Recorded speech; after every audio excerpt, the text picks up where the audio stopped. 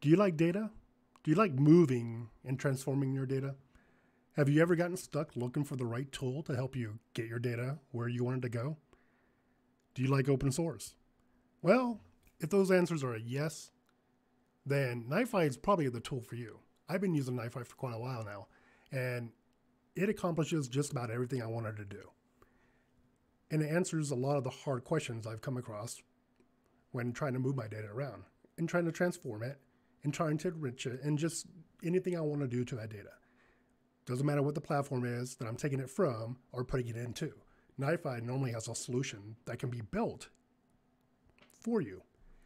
And all you have to do is come on over and join me and let's go take a look at it we as we build NiFi solutions and flows that you can use or you can take lessons learned and apply it to your projects.